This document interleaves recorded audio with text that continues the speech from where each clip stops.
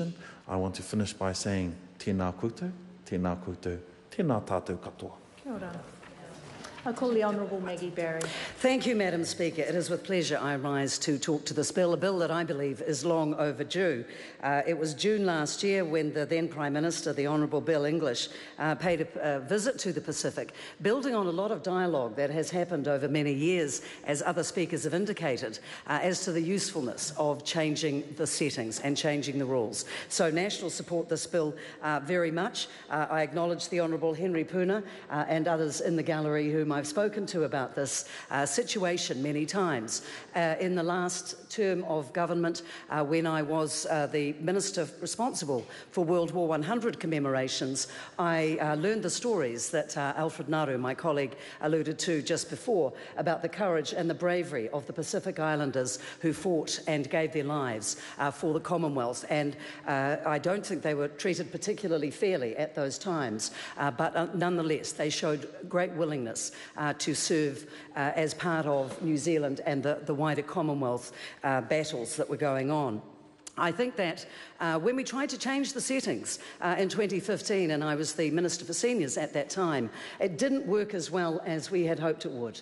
Uh, I think we expected it to cost about 5 million. It cost about 1 million, which showed the uptake was not particularly effective. Uh, but really, what was required, and, and the message has been coming through loud and clear, uh, was that we needed to make it as easy as possible, and that um, uh, f- uh, 5 plus 50 rule needed to go. And um, there was uh, a letter in April of 2017 of last year. Uh, the Minister of Foreign Affairs stated that, uh, based on advice he had received from his officials and the reports that he had had during his own visits to the Cook Islands, Niue, and Tokelau, the current settings were just not working as well as they had intended to be. So clearly, more was done, and I commend the government and the minister uh, for carrying through this legislation. It has been an important thing to do, and I acknowledge that.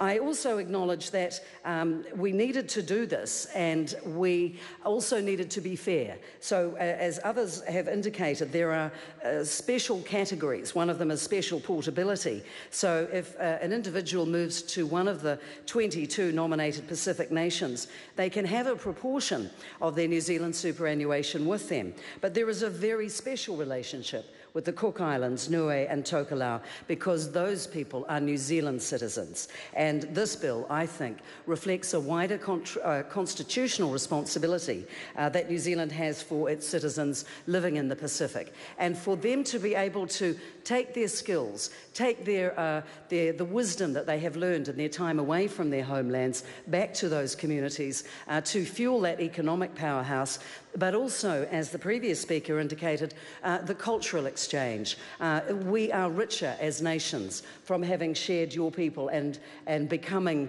uh, more aware of the issues through the Pacific, through having people living here uh, from the, the three islands. And uh, we need to acknowledge that they need to return home at some point. And I think it needs to happen at a time when people are able to make a financial contribution uh, through their New Zealand superannuation.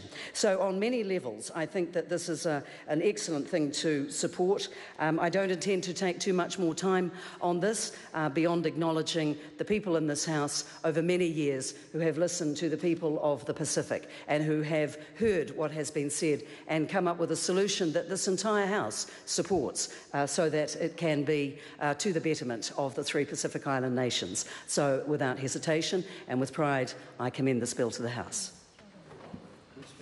I call the Honourable Ron Mark. Madam Speaker, this is a proud day for New Zealand First. Uh,